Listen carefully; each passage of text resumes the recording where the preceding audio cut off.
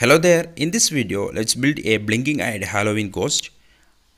I found this design from Thingiverse. I used white PLA material and my Ender 3 version to print the ghost. You can download the design from my site. Now enjoy the printing.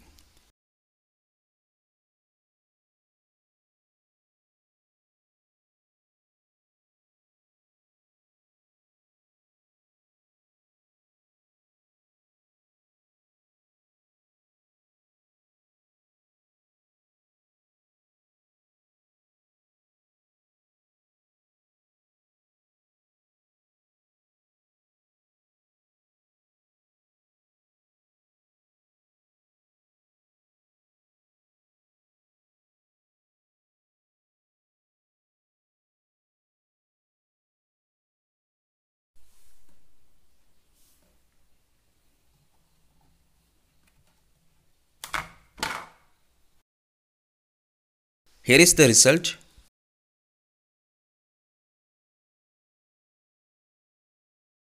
Now let's add the eye. Here we are going to use these LEDs as the eye. To blink the eye here I am using the 555 circuit. I made this circuit on a common PCB. I connected the LEDs with the single standard wires and connected them to the circuit.